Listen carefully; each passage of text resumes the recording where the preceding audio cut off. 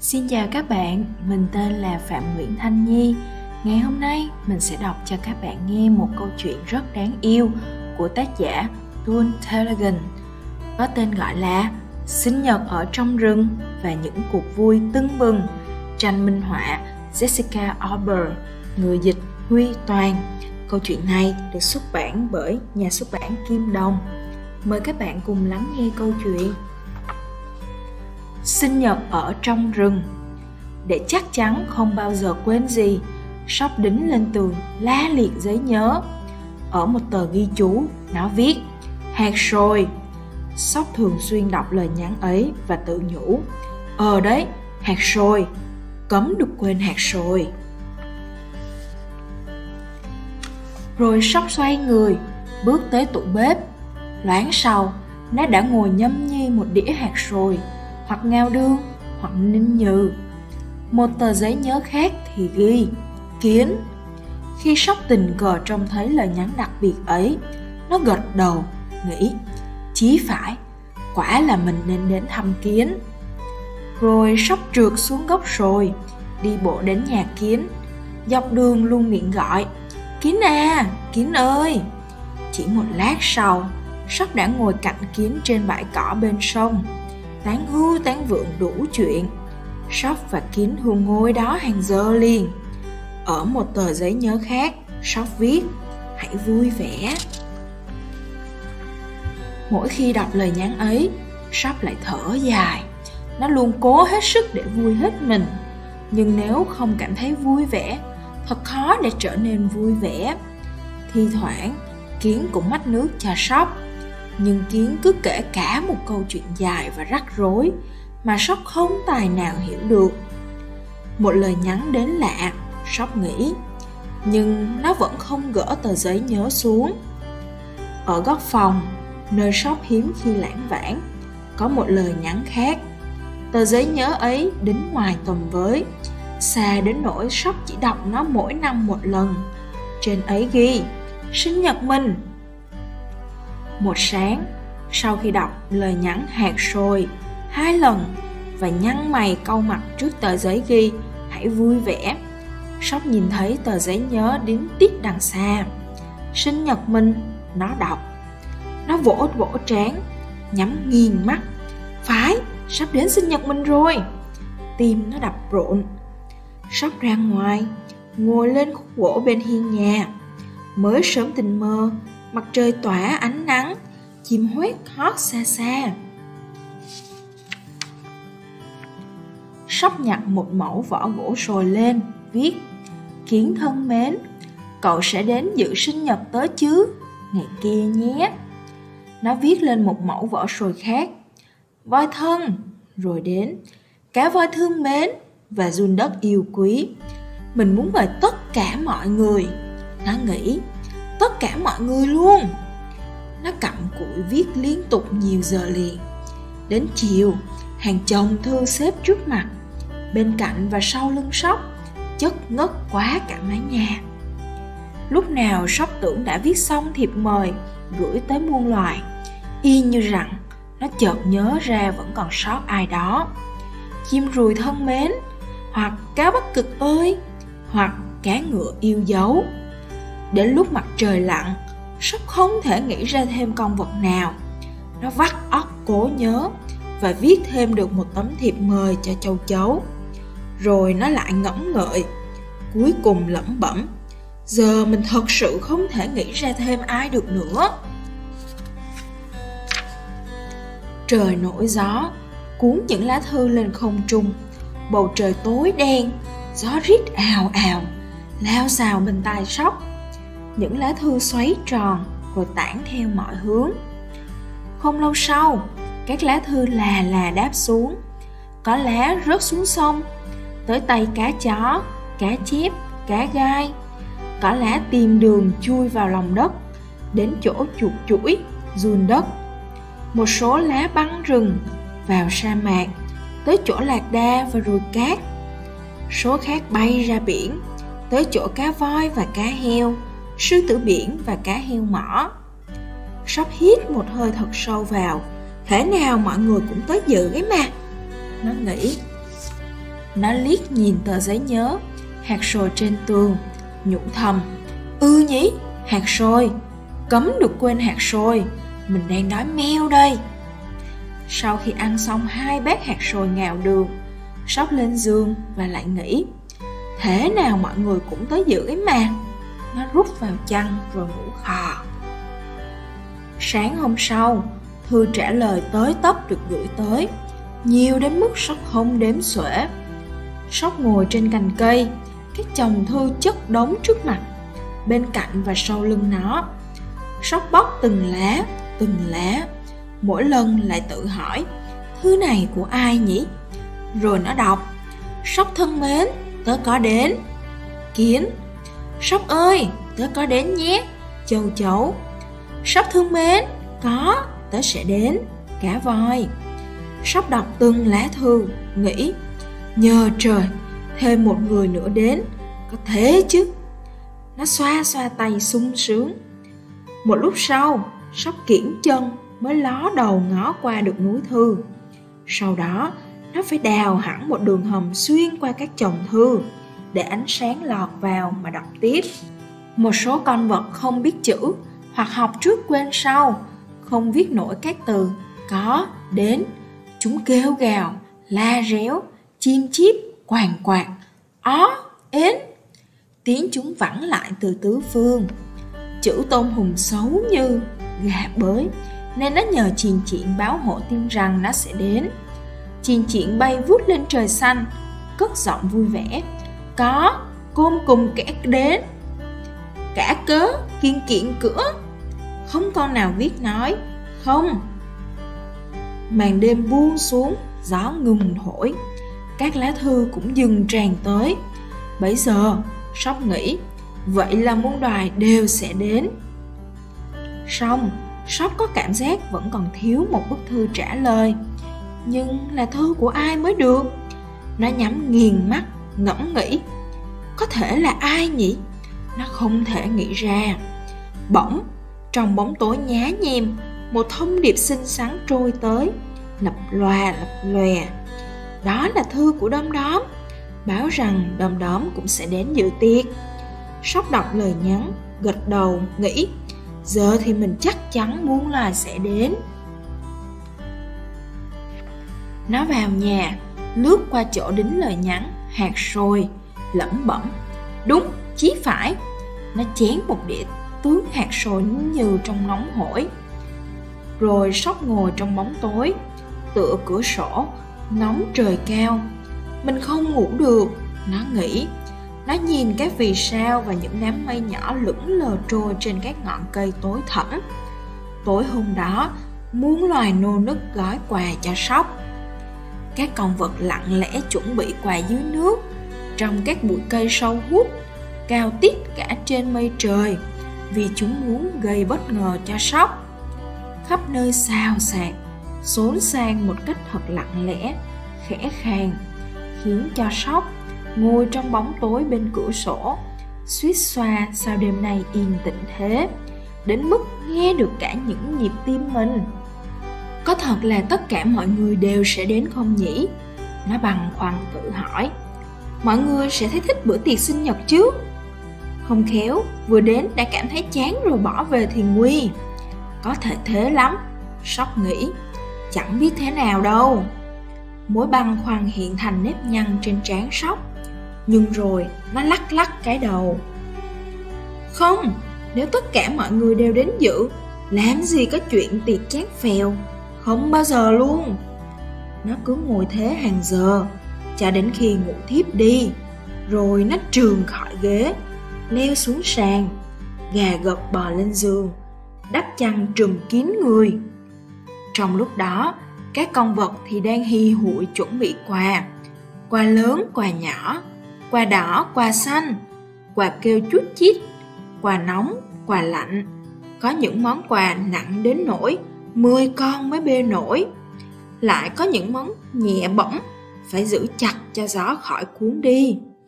Có quà cong cong, có quà thẳng băng, có quà mỏng tan, có quà xù xì, có quà lăn được. Có quà bằng gỗ, quà bằng mật ong, quà bằng không khí quà để nhấm nháp quà để đội đầu quà phủ lên đuôi khi trời rất lạnh thử nghĩ một món quà bất kỳ thế nào cũng có con gì đang gói.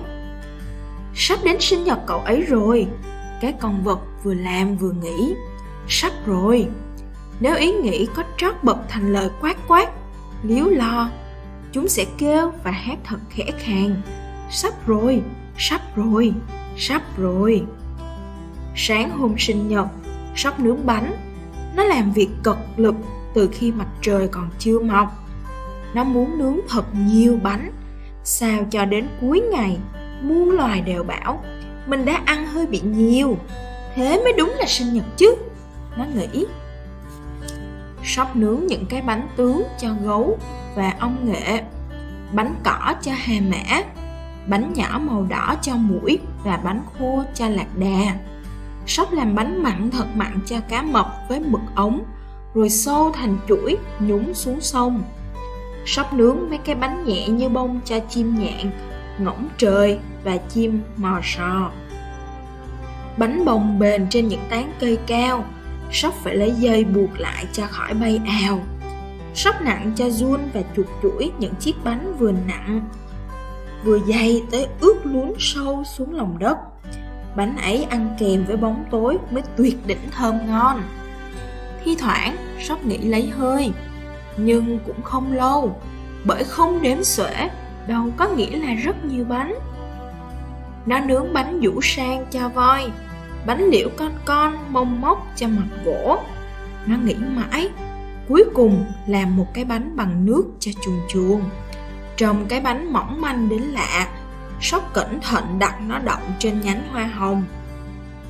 Suốt sáng sóc cặm cụi làm bánh sóc xong việc khi mặt trời đứng bóng, cũng là lúc bữa tiệc cần chóng bắt đầu. Sóc nhìn quanh và gật đầu. Bánh bày khắp nơi, cái nằm, cái treo, cái trôi, cái đứng. Có bánh đen, bánh trắng, bánh lệch, bánh tròn, bánh cao to, bánh khó coi, bánh đẹp mã. Phần lớn vẫn còn bốc hơi và tỏa hương thơm ngọt ngào ngây ngất chúng cứ lấp la lấp lánh ra điều sốt ruột. Đó là một ngày nắng ấm giữa hè, ê hề bánh thơm cho muôn loài dự tiệc. Trong lúc sóc nướng bánh, muôn loài chọn đồ mặc đi dự tiệc. Voi khoác áo vải bông mới toanh, đỏ tươi, chật cứng.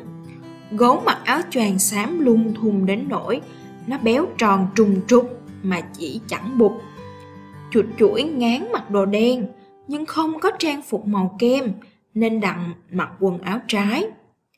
Cửa hiệu bán mũ của châu chấu đông tấp nập.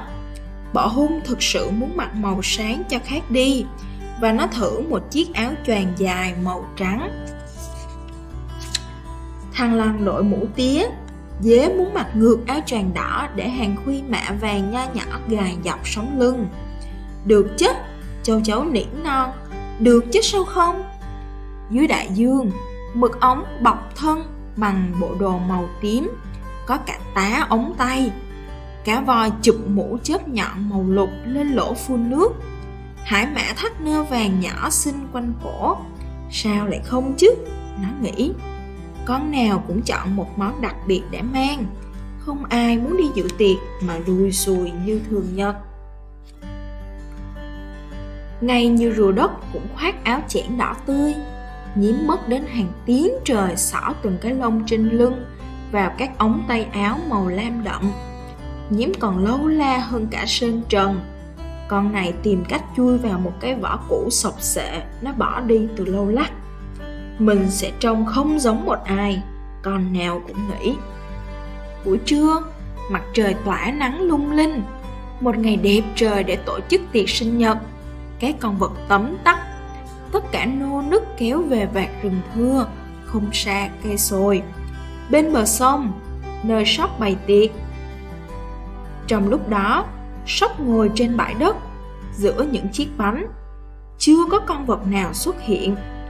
Những ý nghĩ u tối bỗng len vào đầu sóc hay mọi người quên sinh nhật của mình rồi? Nó băn khoăn hay mọi người không nhớ nơi mình sống?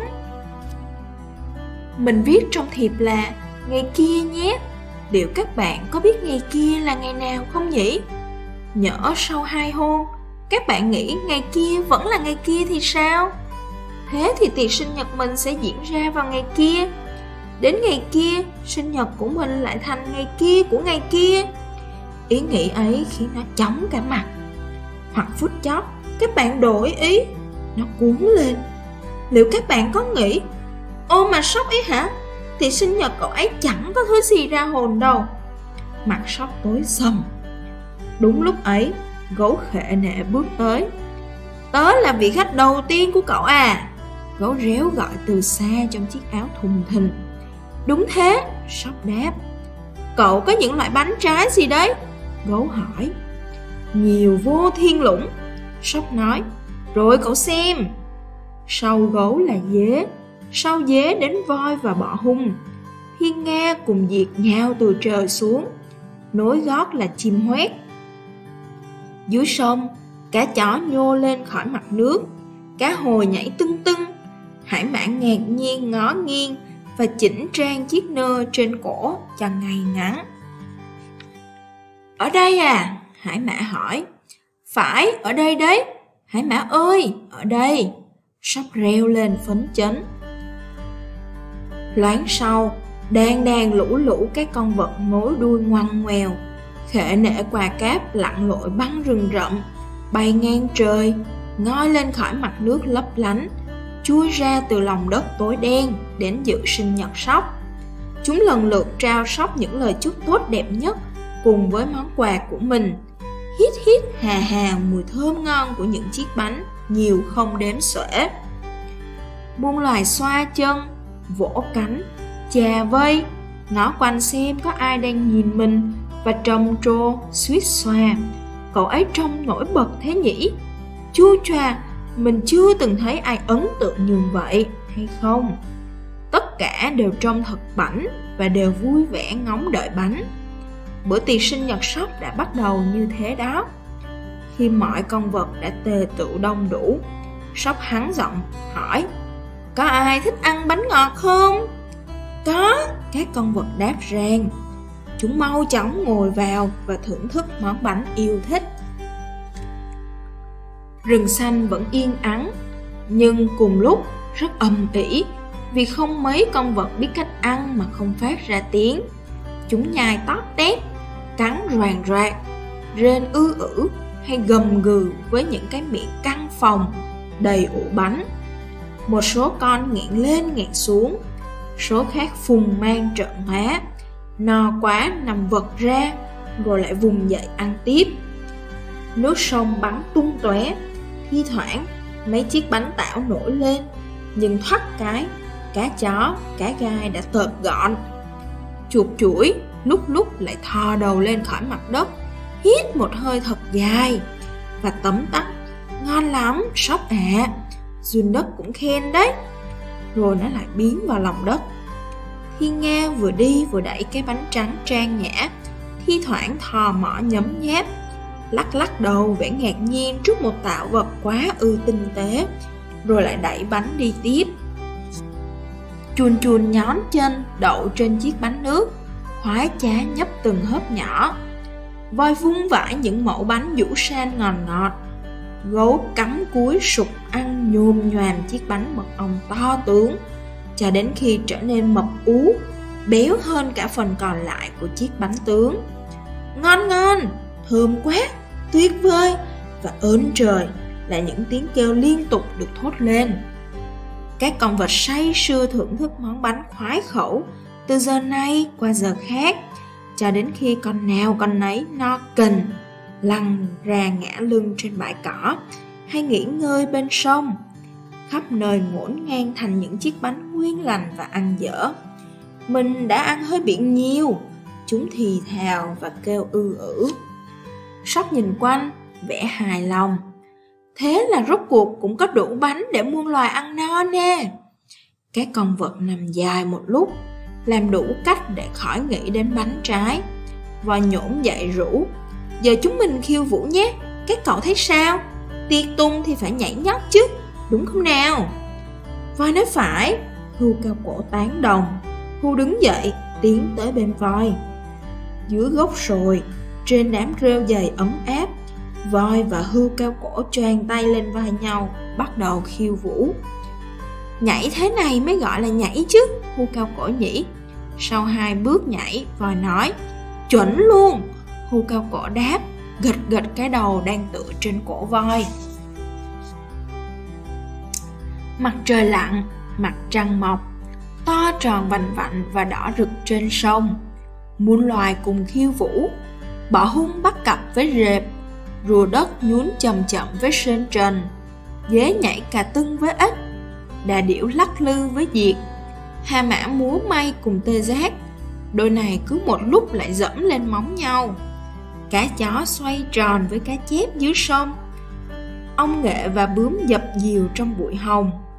Nhạn và cò ríu rít trên trời cao sóc và kiến cùng nhảy dưới gốc sồi. Chim hoét két và sơn ca đậu trên cành dẻ cất giọng líu lo một bài. Gõ kiến chốc chốc lại ra ngoài gõ mỏ đệm nhịp sát ngọn cây. Bàn nhạc chim nhún nha nhún nhảy vừa co chân nọ, duỗi chân kia, vừa hót mổ rộn ràng. Ngoài khơi xa, cá chuồng và cá đuối khiêu vũ giữa bầu không khí biển mát lành. Chúng tung mình nhảy cao khỏi mặt nước, xoay người và duyên dáng lao vào sóng trắng. Dưới lòng đất, giữa ngoằn ngoèo rễ sồi, chuột chuỗi và run đất uốn éo. Đất rừng rung chuyển bởi những bước nhảy lạ lùng của muôn thú. Tất thảy đều khiêu vũ say sưa chúng nhảy nhót vui vẻ, thoăn thoắt, thi thoảng chậm rãi và khoan thai. Một số con thậm chí vừa nhảy, vừa xua xui mà không biết tại sao. Vì chúng vui mừng quá, chúng cứ nhảy nhót như thế hàng giờ. Tối muộn, tiệc tan. Cảm ơn bạn nhiều nha, sóc, muôn loài nói. Các bạn thích bữa tiệc chứ? Sóc hỏi. Tất nhiên rồi, chúng trả lời bữa tiệc thật tuyệt vời. Tất cả đều mệt bã, phải lê gót về nhà. Chim chóc lặt lè cất cánh, chuột chuỗi chậm chạp chui sâu xuống đất. Mọt gỗ khó khăn lắm mới rút được vào một mẫu gỗ mục. Cá chó lặn xuống sông, hải mã cũng nhảy ùm xuống nước. Mặc dù nó chẳng biết bơi đi đâu, mình cũng chẳng nghĩ đến việc sẽ đi đâu, nó nghĩ chiếc nơ vàng trễ tràn trên cổ nó đom đóm thôi lập lòe hà mã ngáp dài duỗi chân rồi lủi vào đám cây bụi thấp. Gấu soát thêm lần cuối xem còn chút bánh mật ong nào sót lại không. Nhặt nhạnh được một mẫu, nó nhắm tịt mắt. Tưởng tượng đó là chiếc bánh mật ong to tướng, há rộng miệng và tống tán mẫu bánh. À, nó thì thầm, ngon quá, hơi nhỏ một tí, nhưng mà ngon. Cuối cùng nó cũng chịu về nhà Tạm biệt Sóc, Kiến nói. Nó là đứa cuối cùng ra về. Tạm biệt Kiến nhé, Sóc chào. Tớ nghĩ là tớ đi thật đây, Kiến bảo. Sóc gật đầu. Nó không biết liệu Kiến có còn định nói gì nữa không. Nó nhìn bóng bạn khuất sâu cây sồi. Mặt trăng tỏa sáng trên cao. Dòng sông ánh lên lấp lánh. Quang cảnh yên lặng như tờ. Sóc ngồi dưới gốc sồi chan hòa ánh trăng, Xung quanh là những gói quà la liệt Bữa tiệc sinh nhật hay ra trò Nó nghĩ, Mình cho là mình rất vui Nó cứ ngồi thế, Lặng yên trong khu rừng tĩnh mịch Sương xà thấp xuống mặt đất, Răng mát khắp các bụi cây Sóc leo lên cây sồi, Tay sách nách mang hàng đống quà nó khó nhọc lách qua khung cửa Có đúng là mọi chuyện đều ổn thỏa không? Nó băn khoăn tự hỏi Không biết là có ai còn thòm thèm không nhỉ? Mình không bỏ sót ai chứ Có gì thất thố không? Nó đặt các gói quà xuống Lỡ có ai phật ý Nó tự hỏi Tê giác, hay sen trần Sen trần có vui không nhỉ? Liệu lúc này có ai đang nằm trên giường và nghĩ Bữa sinh nhật cũng không đã lắm mình nghĩ là mọi người đều hài lòng nó nghĩ cả căn phòng đầy ngập quà Nó nhìn quanh và thấy lời nhắn hạt sồi. Tuy nhiên, nó không đi đến tủ bếp mà gỡ lời nhắn xuống và cất vào ngăn kéo. Hẳn tháo xuống một thời gian đã, nó nghĩ. Nó nhìn quanh, ngồi lên mép bàn rồi đung đưa chân qua lại. Bọc. Bỗng, Sóc cảm thấy rầu rầu. Không thể thế được, Sóc nghĩ. Suy cho cùng, nó chẳng có gì để mà phải buồn phiền. Đó không phải là nỗi buồn, là một thứ gì khác. Nhưng là gì thì Sóc không biết.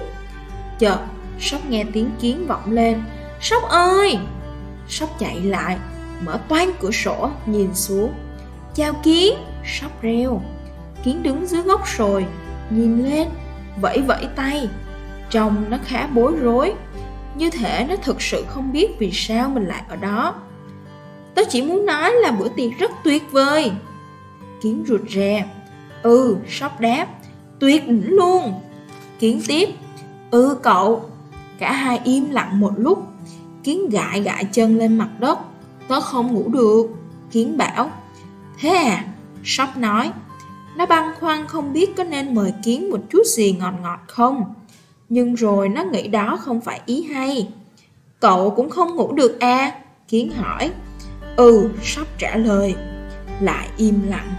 Tớ phải về đây. Kiến tiếp. Nhưng bữa tiệc quả là rất tuyệt đấy sóc ạ. À. Ừ, sóc bảo. Tạm biệt cậu. Kiến chào. Tạm biệt kiến nhé. Sóc nói. Và nó thấy kiến biến vào bóng tối. Rất chậm, nhón chân bên này rồi lại bên kia. Cậu ấy thật chu đáo, Sóc nghĩ. Mình biết mà, Sóc thấy lòng mình dâng lên một thứ tình cảm khác lạ, không giống với cảm xúc nó biết. Cảm giác này thật lạ, nó bối rối.